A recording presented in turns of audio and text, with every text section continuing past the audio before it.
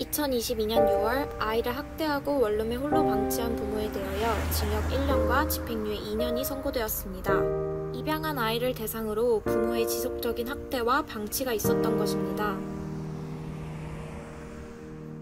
이처럼 아동학대는 가정에서 교육 및 보육시설, 더 나아가 온라인으로까지 뻗어나가고 있습니다. 그렇다면 왜 여전히 아동학대는 줄어들지 않는 것일까요? 아동학대가 가장 많이 일어난 장소는 다름 아닌 주거지와 교육 및 보육 공간입니다.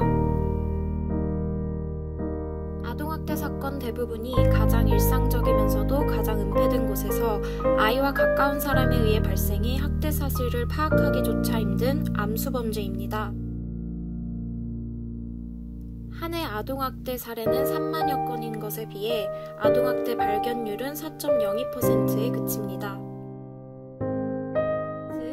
아동학대는 외부에서 범행을 발견하기 어려운 구조로 그 악순환은 반복되고 있습니다. 가족 구성원에게서 받은 학대는 더 심각하고 장기적인 정신적 외상을 남깁니다. 또한 대부분의 학대 아동의 후유증은 성인기까지 이어진다고 합니다. 그렇다면 아동학대로부터 아동의 인권을 지키기 위해선 어떤 노력이 필요할까요?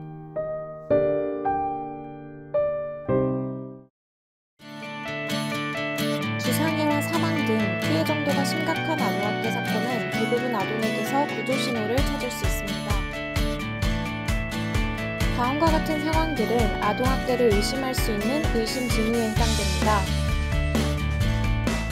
아동학대 범죄의 처벌 등에 관한 특례법 제10조 제1항에 따르면 아동학대 범죄를 알게 된 경우나 그 의심이 있는 경우에는 누구든지 조건 없이 112와 관할 경찰서 혹은 시군부에 신고할 수 있습니다.